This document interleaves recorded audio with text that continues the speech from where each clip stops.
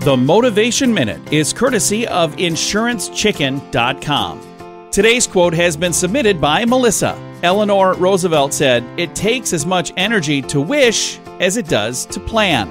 This is the perfect quote to share for anybody who's making a plan, whether it's a plan for a new year, a new month, a new week, or even a plan for the day.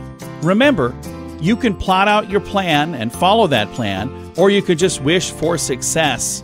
Which of those do you think will work better? I had a great manager who used to say, if you fail to plan, you plan to fail.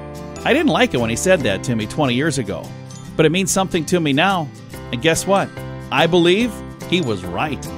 This has been today's Motivation Minute, courtesy of InsuranceChicken.com. They're known for insurance quotes. I'm John Small. Thanks for listening. Your favorite motivational quote can be submitted for an upcoming program at motivationminute.org.